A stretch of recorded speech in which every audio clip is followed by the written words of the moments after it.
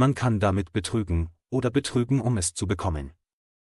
Die Geschichte ist voll mit Erzählungen über Menschen, welche die schönste Nebensache der Welt benutzten, um Macht zu bekommen oder zu erhalten, die betrogen und getäuscht oder ihre Macht missbraucht haben, um jemanden dorthin zu bekommen, wo man ihn oder sie haben will.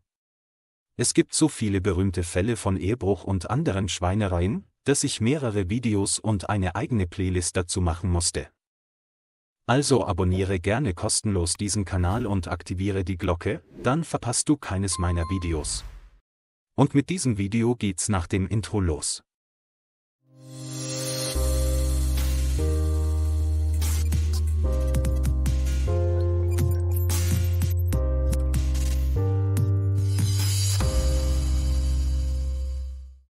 Der Roman Lady Chatterley von David Herbert Lorenz der ursprünglich 1929 in Italien veröffentlicht wurde, sah sich 1960 in Großbritannien einem Obszönitätsprozess ausgesetzt, als Penguin Books den Roman veröffentlichen wollte. Das Buch schildert die explizite Beziehung zwischen Lady Chatterley und ihrem Welthüter aus der Arbeiterklasse und enthält explizite Szenen, die vom britischen Establishment der damaligen Zeit als schockierend empfunden wurden.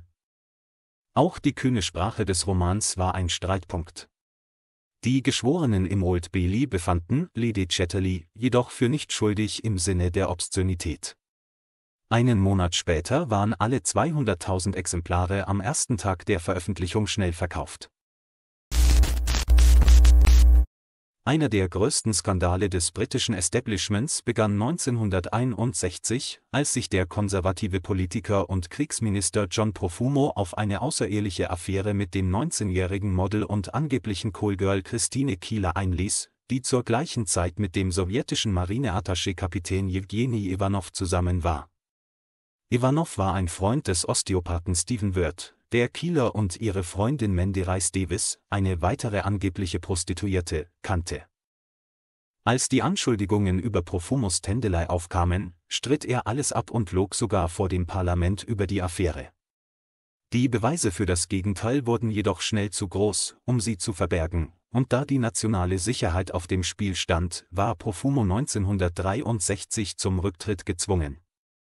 Der Skandal trug ein Jahr später zur Niederlage der konservativen Regierung bei.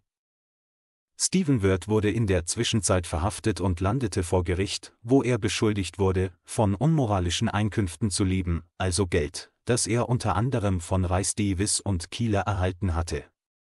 Er wurde für schuldig befunden, Kielers Zuhälter zu sein, nahm aber vor der Urteilsverkündung eine Überdosis Schlaftabletten. Er starb kurz darauf.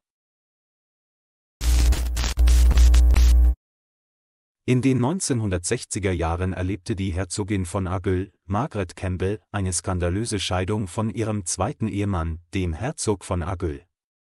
Explizite Fotos und eine Liste mit 88 Männern, darunter der Schauspieler Douglas Fairbanks Jr., deuteten auf ihre Untreue hin. Der Fall wurde zu einer Sensation für die Boulevardpresse. Als der Richter die Scheidung bewilligte, sagte er über Margaret Campbell, dass sie eine völlig promiskuitive Frau war, deren sexueller Appetit nur mit einer Reihe von Männern befriedigt werden konnte. Obwohl der Scheidung stattgegeben wurde, schadeten die bekannt gewordenen Details ihrem Ruf und ihren Finanzen. Margaret heiratete nie wieder und starb 1993 im Alter von 80 Jahren. Das war es für diese Folge. Wenn dich diese Geschichten interessieren, dann vergiss nicht zu abonnieren und ich sage danke bis zum nächsten Video.